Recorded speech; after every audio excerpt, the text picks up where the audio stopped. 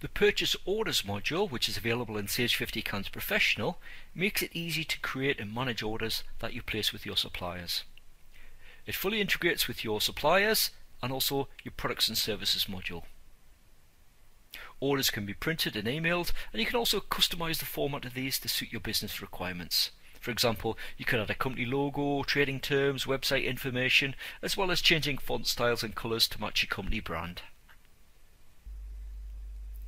The basic purchase order process is to enter the order, place it on order, and then receive the goods. You can then, if required, update the ledgers. So it effectively generates an invoice and updates that to the supplier account based on the order and what's being delivered. So let's have a look at how you enter a purchase order. So from the navigation bar, click Purchase Orders. And then from the toolbar at the top, click New. Now if you're familiar with entering invoices in the Invoices and Credits module or sales orders, you'd be very familiar with the, the, the sort of the layout of the product purchase order. So the first thing to specify is the date so that defaults to the current program date. We'll just accept that for this example. And then we need to specify the supplier that we're ordering from. So we can select them from the drop down. If it's a brand new supplier, we can click new and then complete the details, click save, and then we'd be able to select them from the list. So we're just going to choose this first supplier, Concept Stationery Supplies, click OK, and then the name of the supplier and also the address appear in the top left corner.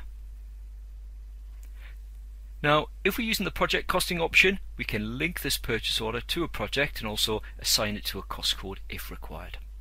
We're just going to leave that blank in this example. Then in the main body of the purchase order, we need to specify what we're ordering.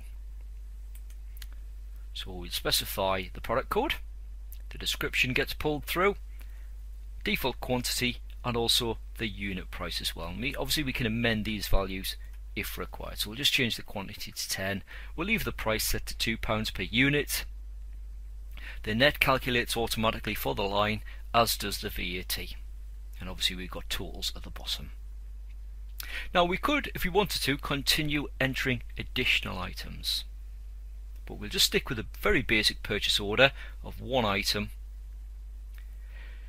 Right, just before we save it, we've got other options at the top. So we've got an order details tab where we can enter delivery address information. We might be placing an order with our supplier and want it delivered direct to our customer. Or if we've got different branches of our company, we might choose which branch we want that delivered to. We can also specify footer details and on there we can specify things like carriage charges and also settlement terms.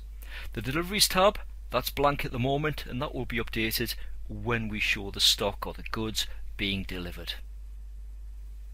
So for the time being we'll go back to details, click save and we're then prompted do you want to place this order on order now? So we can either place it on order now or place it on order later. So let's click order now. We're then prompted do you want to print this order?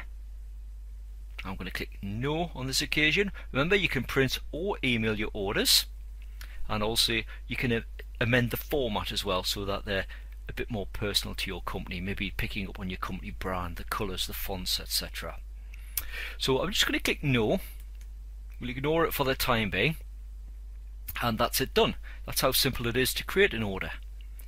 So if we now close and we're back to the purchase orders list. So there's the order that we've just entered.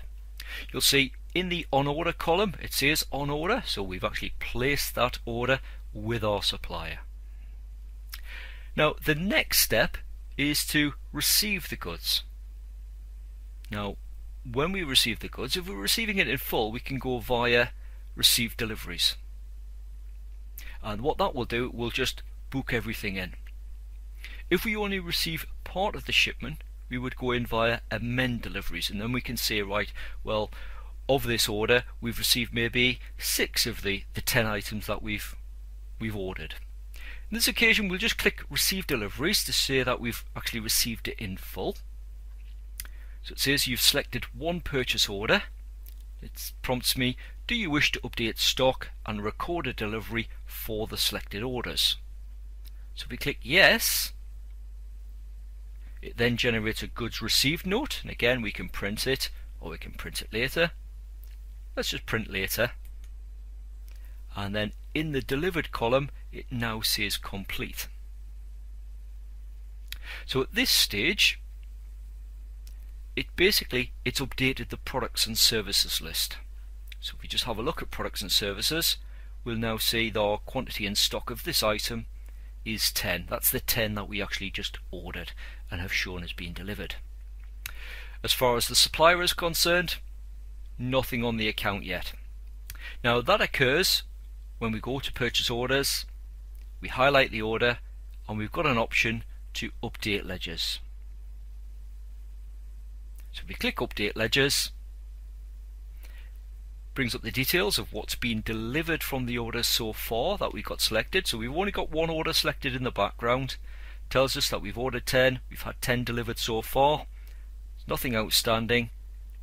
We haven't invoiced any of them yet, we're still to be invoiced for 10. So we're going to show you how to update an invoice from this item. Now there could be obviously lots of products listed here. Obviously ours is nice and simple.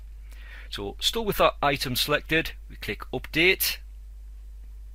We've got the details there, so it brings through a batch supplier invoice, so we don't need to go and enter it manually. We could do it via the purchase orders update ledgers option. So just make sure the details are correct. If they are, click save. We get a message about project costing. We haven't got this one linked to a project costing, so we can continue. So we just click yes and we'll see in the posted column we've now got a Y and also if you go to suppliers we've now got an outstanding balance for the order that we've just updated. So that's how easy it is to enter your purchase orders and process them in Sage accounts.